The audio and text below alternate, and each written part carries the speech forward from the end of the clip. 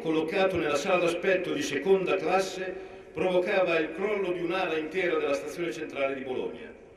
La prima ambulanza era qui, dove ci troviamo adesso, neppure due minuti dopo.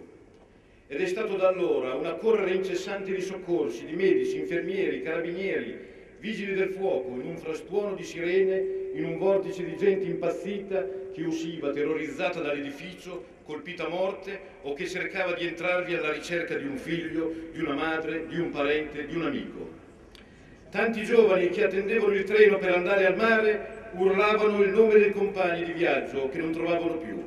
Dalle macerie si estraevano gli zaini e i poveri resti dei loro amici che avevano concluso a Bologna, in una calda mattinata di agosto, la loro breve esistenza. Dal cumulo di calcinacci e detriti continuavano ad emergere sotto il febbrile lavoro dei soccorritori corpi straziati di donne, ragazzi, bambini, anziani che stavano partendo per le vacanze o attendevano una coincidenza. L'incubo di un atto terroristico nell'anniversario della strage del treno Italicus, perpetrata il 4 agosto 1974, all'indomani del deposito della sentenza istruttoria, si era materializzato nel peggiore dei modi.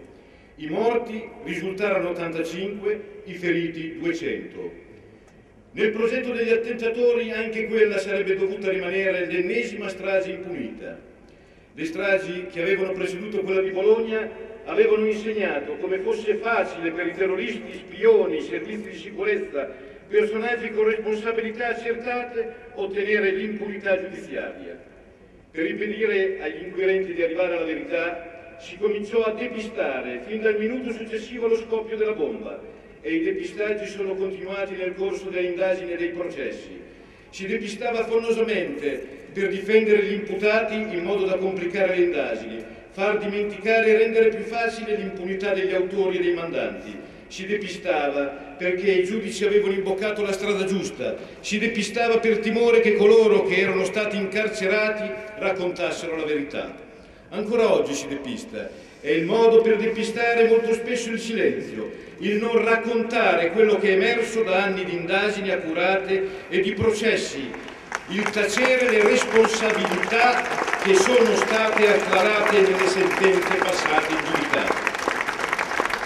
È per questo che noi qui oggi vogliamo gridare a gran voce i nomi di chi si è macchiato di una simile atrocità, sono i nomi dei terroristi neofascisti Valerio Fioravanti, Francesca Mambro e Luigi Savardini, che collocarono materialmente l'ordigno in stazione. Sono i nomi del capo della loggia massonica P2, Licio Gelli, del faccendiere Francesco Pazienza, del generale Musumeci e del colonnello Belmonte, entrambi posti ai vertici del sismi ed iscritti alla loggia massonica P2, che si adoperarono in ogni modo per inquinare i processi e sviare le indagini dalla pista neofascista italiana. Tutti costoro, pur se condannati, non hanno mai completamente pagato per le atrocità commesse e sono da anni in libertà. La nostra associazione in particolare denuncia da anni lo scandalo del trattamento privilegiato concesso agli esecutori materiali di quel vile attentato, i quali hanno sempre taciuto sui mandanti e per questo sono stati premiati. Luigi Savardini, condannato a 30 anni per l'eccidio alla stazione, non è, carcere, non è rimasto in carcere neppure due anni. Francesco Mambro e Valerio Fioravanti, condannati complessivamente a 15 ergastoli e a più di 200 anni di carcere, hanno scontato soltanto due mesi di detenzione per ogni morte causata. Costoro sono inoltre stati premiati anche con il silenzio dei mass media su tutti i feroci reati commessi e ben pochi sono i giornalisti coraggiosi che vanno controcorrente e ricordano ai cittadini il loro lunghissimo e sconvolgente curriculum criminale. Uno di loro è il bravo giornalista Mario Adinolfi, che quest'anno con un articolo sul quotidiano Europa ha ricordato Alessandro Caravillani, un giovane passante di 17 anni che è stato ucciso da Francesca Mambro durante una rapina. Vogliamo esprimere a Mario Dinolfi, che qualche settimana dopo ha subito un'inquietante e violenta aggressione fisica, tutta la nostra solidarietà. In questo paese, in questo incredibile paese, Valerio Fioravanti ha avuto la strapotenza di accusare Adinolfi di viltà, proprio per aver ricordato quel turpio omicidio commesso da Francesca Mambro. In un paese normale che ha ucciso quasi 100 persone non dovrebbe mai permettersi di dare del vile a chi che sia, tantomeno ad un giornalista onesto e documentato. L'arroganza di Fioravanti si spiega soltanto con il fatto che lui e i suoi sodali si sentano ancora oggi protetti e spalleggiati, coccolati da un clima loro favorevole anche a livello istituzionale. Del resto, questo clima che alle persone oneste appare sconfortante è purtroppo sotto gli occhi di tutti. Le cronache degli ultimi mesi si sono occupate della squalida vicenda delle parentopoli romana, che ha coinvolto il sindaco Alemanno, dopo che nelle aziende municipalizzate della capitale si sono scoperte numerose assunzioni senza concorso e a chiamata diretta a favore di amici e escamerati del primo cittadino di Roma. Uno di questi estremisti raccomandati si è anche distinto per aver pubblicato su un social network inaccettabili frasi antisemite. Oltre alla pattuglia di neofascisti raccomandati piazzati dalle mani nelle municipalizzate cittadine, colpisce il fatto che lo stesso sindaco, nella ricorrenza del trentesimo anniversario della scomparsa del giudice Mario Amato, non abbia sentito l'esigenza di commemorarlo e sia stato invece un gruppo di cittadini a realizzare a proprie spese un monumento nel luogo in cui egli perse la vita. L'anno seguente poi il sindaco Alemanno per oscurare l'opera di questi onesti cittadini ha risposto insieme al Ministro della Gioventù Giorgia Meloni, dedicando luoghi abituali di ritrovo dell'estrema destra militanti della stessa area, il tutto alla presenza di un picchetto d'onore di militanti di destra che hanno esibito il saluto romano e bandiere con croci celtiche come apparso sui quotidiani nazionali. Questi preoccupanti episodi fanno tornare alla mente quella sorta di solidarietà criminale istituzionale che si scatenò nel 1994, immediatamente dopo che gli esecutori materiali della strage di Bologna rilasciarono un'intervista al giornalista Gian Antonio Stella sul Corriere della Sera, intitolata Loro al governo, noi all'ergastolo.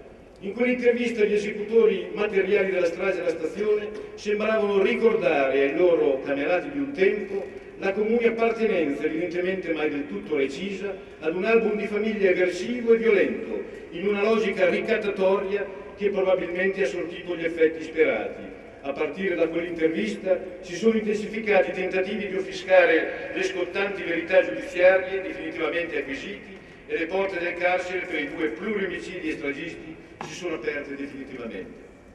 E mentre i camerati che hanno mantenuto il patto di omertà vengono beneficiati da incredibili sconti di pena e favoritismi di ogni tipo, chi invece ha cercato di riscattarsi e ha collaborato con la giustizia viene barbaramente ucciso. L'ottobre scorso Sergio Calore, figura di spicco del terrorismo nero ed ex collaboratore di giustizia, che aveva reso dichiarazioni molto importanti sulle versioni di estrema destra e anche nel processo per la strage del 2 agosto, è stato barbaramente trucidato a colpi di piccone.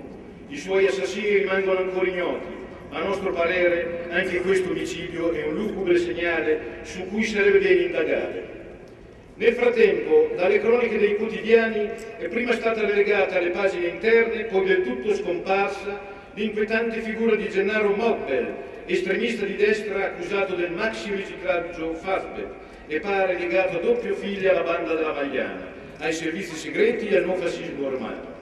All'indomani dell'arresto di Mobbe, Valerio Fioravanti, temendo di ritrovarsi nei guai dopo le decine di telefonate intercettate, l'ha subito bollato come mascalzoncello di quartiere. Ma può un mascalzoncello di quartiere organizzare il riciclaggio del secolo? Può determinare l'elezione di un seditore? Può esprimere il padrinaggio su un altissimo dirigente nominato da Alessandro, Stefano Andrini, anche lui terrorista nero condannato per duplice omicidio negli anni 90, può finanziare la latitanza del più pericoloso boss ancora in vita della banda della Magliana, anche lui ex terrorista dei NAR, può avere milioni di euro nascosti in diamanti e opere d'arte? No, Mobben non è un mazzocello di quartiere e questa non è una storia da pagine interne. Questa è la storia del nostro paese, quella che aveva già intuito 31 anni fa il giudice Amato, lasciato solo ad indagare sui legami tra estremismo neofascista e potere politico, economico e finanziario. Per le sue indagini e per il suo coraggio Mario Amato ha pagato con la vita. Come lui sono caduti per proteggere la democrazia e per favorire il loro lavoro e per fare il loro lavoro molti magistrati e su questo vorremmo aprire una piccola riflessione. Nel corso di quest'anno sono giunti ai magistrati pesantissimi attacchi. La magistratura è stata definita un covo di malati di mente, di eversori, equiparati ai terroristi delle Brigate Rosse e addirittura un cancro da estirpare. Riteniamo che queste siano frasi molto gravi. Ciò che più ci ha ferito è che alcuni di questi duri attacchi sono arrivati da elevatissimi livelli istituzionali e anche da chi è stato iscritto alla loggia massonica P2 come il Presidente del Consiglio, onorevole Silvio Berlusconi. Non intendiamo entrare in alcun tipo di polemica, ma su una cosa non possiamo tacere. Siamo profondamente convinti che non vi sia nessun pulpito dal quale una persona che è stata iscritta alla loggia massonica P2 per quello che la logica massonica P2 ha rappresentato e ancora rappresenta nella storia del nostro Paese, possa ergersi a giudicare uomini, istituzioni, associazioni che sono stati il perno della democrazia e delle istituzioni del nostro Paese. Vogliamo ricordare che esponenti di quella loggia sono stati condannati per depistaggio e per il finanziamento di bande terroristiche. Il 17 marzo di quest'anno si sono festeggiati 150 anni dell'Unità d'Italia, ma ricorreva anche un altro anniversario, i 30 anni dalla scoperta da parte del giudice Turone Colombo degli elenchi della lista delle appartenenti alla loggia massonica P2 nella villa di Lissogelli ad Arezzo. La loggia massonica P2 apparve da subito come un oscuro groviglio di interessi dietro il quale affioravano business e tangenti, legami con la mafia e stragismo, omicidi eccellenti e soprattutto un progetto politico antisistema, una centrale volta al controllo del sistema democratico. Fa impressione oggi leggere la profezia di una grande donna delle istituzioni, Tina Anselmi, che fu chiamata a guidare la commissione d'inchiesta sulla lotta massonica di Duro. Il 25 novembre del 1982 scriveva Le P2 non nascono a caso, ma occupano spazi lasciati vuoti per insensibilità e li occupano per creare la P3, le P4 e così via. Sembra che fra le righe dell'indagine di 29 anni fa sulla P2 avesse visto in filigrana i complotti di oggi. Gli attacchi giunti in questi mesi alla magistratura Suonano dunque più sinistri se si pensa che uno dei principali obiettivi della loggia massonica P2 era quello di umiliare la magistratura, togliere l'indipendenza, eludere il rischio che anche i potenti debbano rispondere alla giustizia. Tutto ciò per tornare a un modello vecchio e retrogrado di società in cui gli status e i diritti non dipendono da leggi uguali per tutti, ma da rapporti di potere, considerare le persone sudditi e non cittadini, Oggi, più che mai, il Parlamento e le istituzioni dovrebbero vigilare sul rispetto della legalità e dei diritti, anche dei diritti delle vittime e dei cittadini onesti. Invece il vento sembra soffiare proprio nella direzione opposta. Per mesi il Parlamento è stato impegnato a discutere leggi per aggirare la giustizia.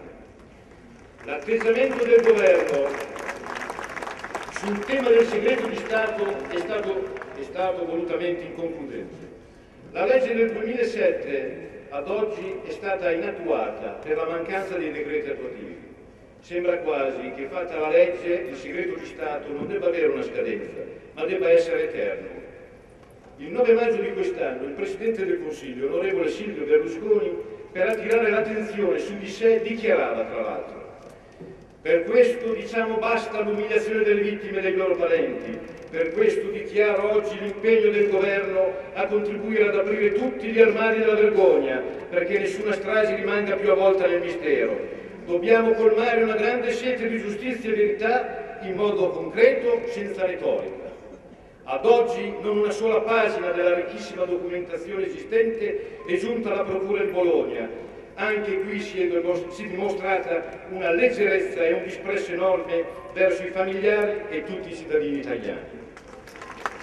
La cittadinanza concessa dal Brasile a Cesare Battisti, terrorista per omicidio, è una, grave, una gravissima offesa a tutte le vittime del terrorismo. Questo è il frutto anche del maldestro comportamento dell'esecutivo nella richiesta di estradizione del terrorista, che ha rivelato i ritardi, le inadeguatezze e la mancanza di volontà di rappresentare con forza le istanze degli italiani. Nei confronti dei parenti delle vittime, non solo della strage di Bologna, il governo ha avuto un comportamento inqualificabile. Quest'anno, come l'anno scorso, non ha inviato alcun rappresentante istituzionale a Bologna. Lo stesso si è verificato a gennaio nella ricorrenza dell'eccidio dei tre carabinieri al pilastro per mano della banda della Uno Bianca. La strategia sembra quella del silenzio, la volontà quella di far dimenticare.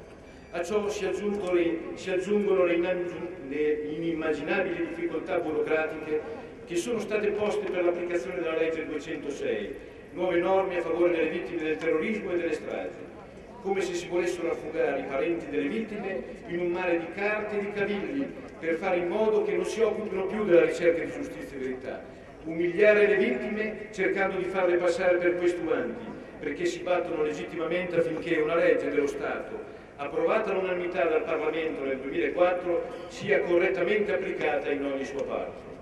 Le promesse e le assicurazioni avute subito dopo l'insediamento da questo governo, eh, di questo governo, dall'onorevole Silvio Berlusconi e dal sottosegretario Letta, si sono dimostrate parole al vento, fatti da ricercatori di facile consenso. Nessun atto concreto è stato compiuto, ma anche su questo continueremo la nostra battaglia per far applicare integralmente la legge. Vorrebbero dimenticare e che anche noi dimenticassimo, ma noi non dimentichiamo, non possiamo, non vogliamo e non dobbiamo dimenticare. Non possiamo dimenticare